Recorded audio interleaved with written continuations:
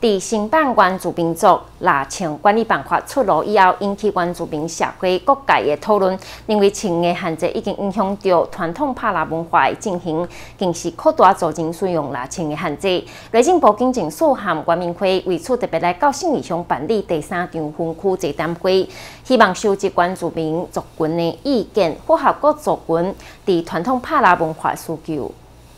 考量自制拉青保险设计以及也未经过糖压测验，加上希望建立完整的安全验证制度甲训练机制，已经制定了关注民、希民自制拉青疫情许可甲管理办法草案。第三届座谈会，委托南岛县政府警察局来到信乡公所举办。现在警政署要忽略现行族人原本就在使用的枪支如何合法的问题是。非常非常的不负责任。然后所有的自治的部分只让我们自治所谓的枪托跟护木，那为什么不要整支进来，就干脆就是原住民的自式猎枪啊？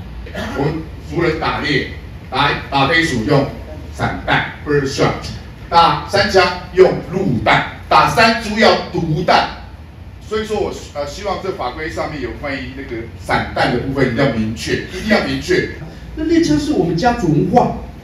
已经是代表我爸爸、阿公已经走了，传给我们的这个猎枪。那为什么还要起初把这个猎枪的这个资格弄掉呢？那我们也希望在他在从枪支的认定，以及在喜德丁啊枪支的一个合法的继续的辅导，以及在啊对于啊猎人的养成，应该是要做一个统筹的一个啊由部落原住民的。各组的狩猎的文化来去定这个法，我想这样的话不会以从中央的角度来去看部落。案的编列，我觉得都是很像是在办公室做一些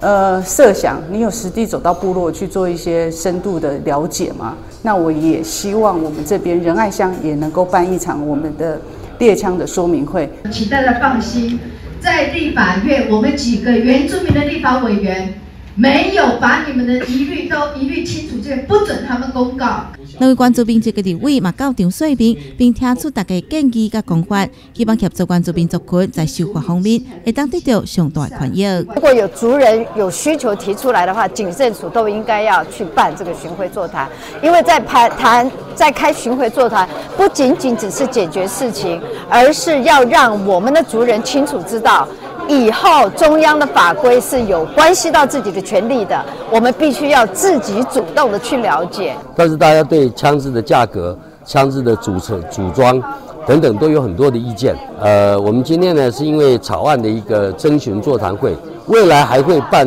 呃五场，总共是八场，所以这个也是很好的一个沟通的机会，听听看猎人协会的意见，然后给严明会警政署未来修正的一个参考。举办座谈会，主要希望关注民族人，能当了解法规的修改所带来影响，嘛期待会当达成共识，并符合各族群对着传统拍来需求。记者金山插多。